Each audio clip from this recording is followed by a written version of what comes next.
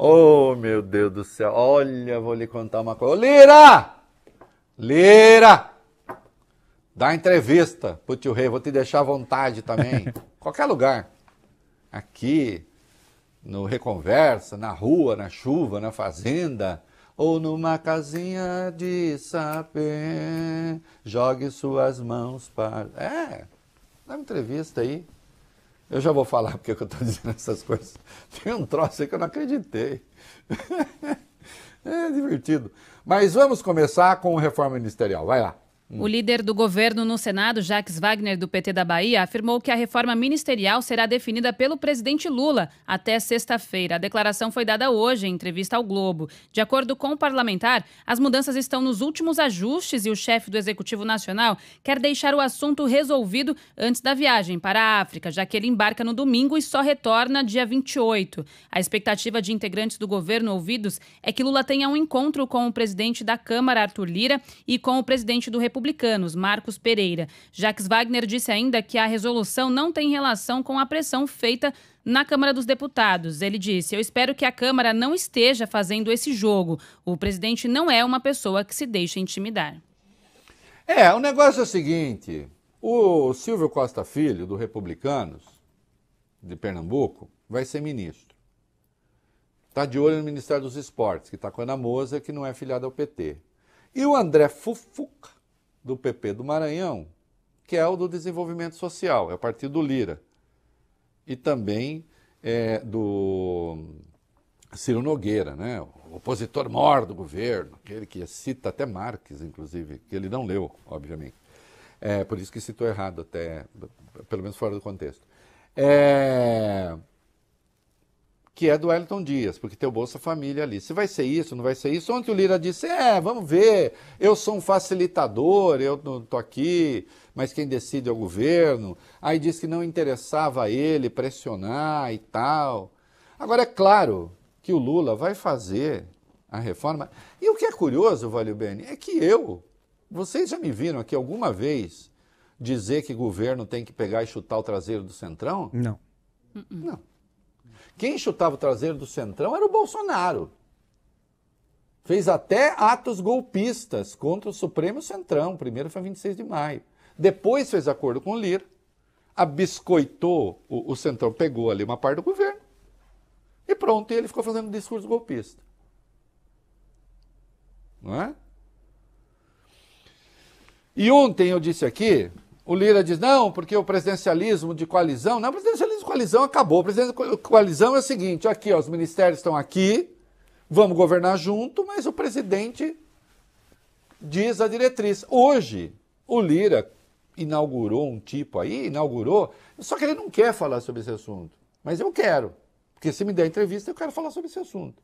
Que não é só a distribuição de pastas, é definir tudo, para onde vão as coisas.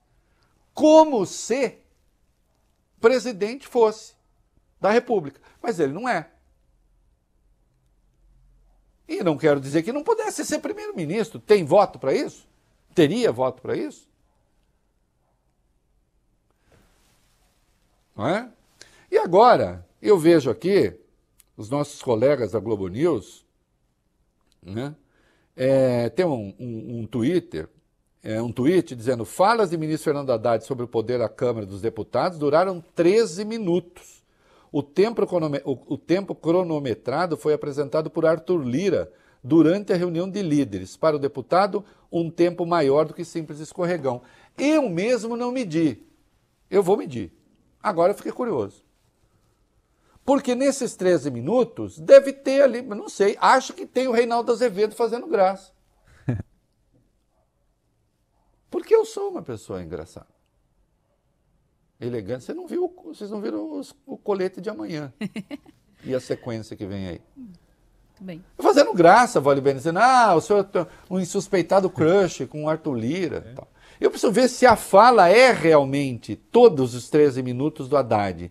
E se todos os 13 minutos representam uma fala que, de algum modo, tensiona com a Câmara. Eu, é claro que o senhor está exagerando.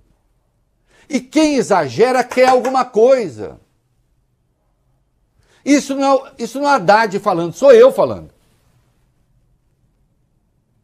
Eu comecei, aliás, elogiando o seu trabalho. E olha que me dói, porque o senhor faz coisas que eu acho detestáveis. Digo isso com clareza, diria na sua cara. E não é ofensivo. Mas elogio diz que o senhor entrega, quando o senhor faz acordo, cumpre. Foi assim que começou. Agora, querer impedir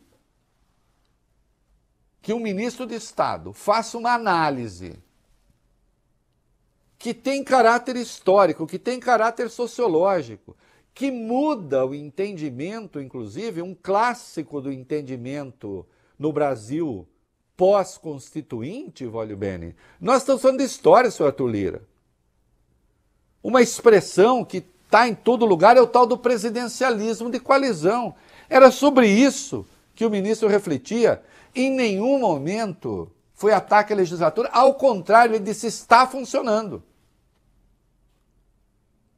Mas aí ele diz: agora, quem elogia a relação com a Câmara deveria elogiar também com o Senado. O senhor tomou esse trecho, esse trecho está nos 13 minutos? O senhor acha que sempre que se elogiar o Senado, isso significará um ataque à Câmara ou ao senhor? Bom, mas aí, é, senhor, é, a gente. O nome ficaria até bonito, Vole Bene, mas teria de ser assim na esfera da literatura. Mas também não seria bom, né? Seria a tirania lírica. Ou a tirania do lirismo. A única tirania do lirismo, e Larissa, esse programa é uma dissertação, ele sempre volta ao começo. A única tirania do lirismo que a gente aceita aqui, deputado, que a gente pode aceitar no Brasil é a tirania do lirismo amoroso, Larissa. Que mesmo quando o caso acaba, né, fica aquele resto de dor ou de amor. Aí sim. Porque, senhor, se nenhuma análise como essa pode ser feita sem que isso soe ofensivo, mas eu vou medir também. E vou ver quanto desses 13 minutos, então, poderia ser considerado uma crítica ligeira e civilizada de um ministro que foi lá e reafirmou seu compromisso com a responsabilidade fiscal. E de um país que está avançando, senhor. Um país que a gente vê a pesquisa está aí. Né? É isso. Nós gostamos. É dessa é dessa tirania lírica aqui, ó. Essa que vem agora. Beijos, até amanhã. Obrigado pela audiência. Onde está tudo que você quer para me transformar no que te agrada, no que me faça ver quais são as cores e as coisas para te prender. Eu tive um sonho ruim e acordei chorando, por isso eu te liguei. Será que você ainda pensa em mim? Será que você ainda pensa?